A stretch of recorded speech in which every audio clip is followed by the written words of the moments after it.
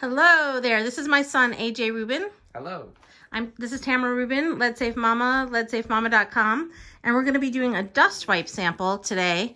And we're doing the dust wipe sample on a Tempur-Pedic bed that I've tested prior. I know the lead content of, I believe it's nine parts per million is what we came up with in the mattress. Um, and we're going to see if that translates to a dust hazard at all. It, I don't know that it will. It may not. So AJ's got this kit. Why don't you show us the box? Hold it up to the camera. So it's a five pack of dust wipe samples from Certified Kit. Okay, now you're going to read the instructions. One instruction, read the instruction, then do the thing, then read the instruction, then do the thing. Okay. Um, kit contains dust wipes, centrifuge tubes, prepackaged gloves, boot covers, chain of custody, COC, return shipping label. And since we're doing a bed, we don't need the boot covers, but why don't you show all the things? So there's the return shipping label, prepaid. And then we have the centrifuge tubes, we have the wipes, gloves, and boot covers. Here's a lead-free surface. Why don't you put those things on this lead-free surface? Open. As open it, yeah, and, and follow the instructions. All right. Collecting a dust sample. Wear the protective gloves and booties provided in the kit prior to starting the sample procedure. We're not going to use the booties right now. Oh, he's putting the gloves on. I'm putting the gloves on. Gloves on. That's scary. What? it's like the proctologist, the snap. yeah. uh, the standard dust sampling area is one square foot. So we pre-marked this out Beautiful. using rulers uh, and a tape measure. So the interior of that is one square foot. Collect a sample of settled dust by following the sample collections procedures below. Number one, identify without disturbing the dust or touching the area, the one square foot area to be sampled. Done. Two, tear open the provided white packet. And these are called ghost wipes or lead wipes. To hold it up? Hold on a second. Um, lead dust sampling wipe. So tear off one because there's five of Yeah. them there.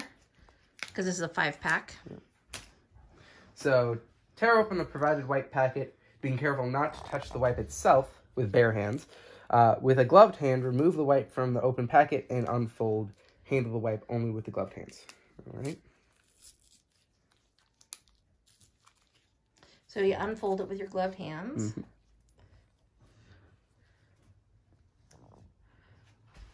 AJ is 17 years old, True. starting college in the fall, God willing, if if God the willing. God willing, if the coronavirus permits. Um, okay. so hold, show us the unfolded. So we have fully unfolded, Fully smallish. unfolded. Uh, Okay. Almost. Hold it fully up like a by two corners so we can see how big it is.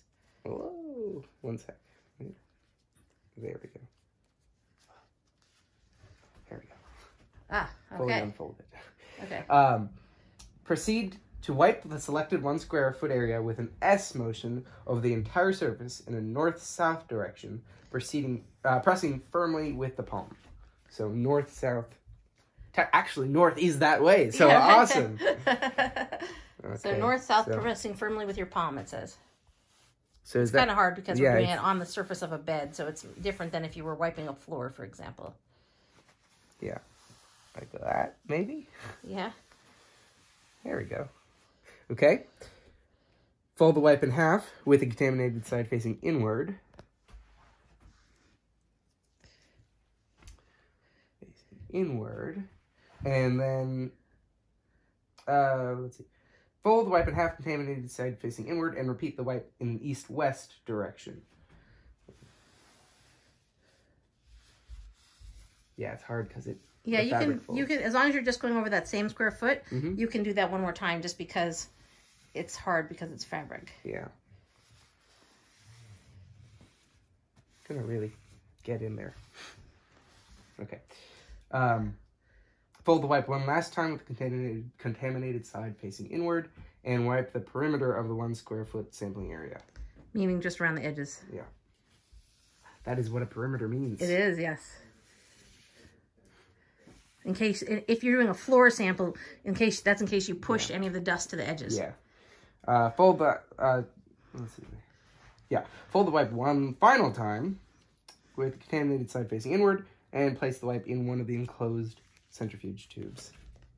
And then what we're gonna do is mark that on the outside with the marker Mm. and have that be right down um Any particular particular top no just just uh on the side? Or on the side or on the top. Uh just write number one write number one on it. Okay. and that's top of bed. You don't have to write anything more than number one. We'll know from the video. Yes. and so we're going to do a couple more of these. Look at me aj so we're going to do a couple more and we're going to do this instruction each time. Okay. and then we're going to send these in and we're going to have the results sent back to us.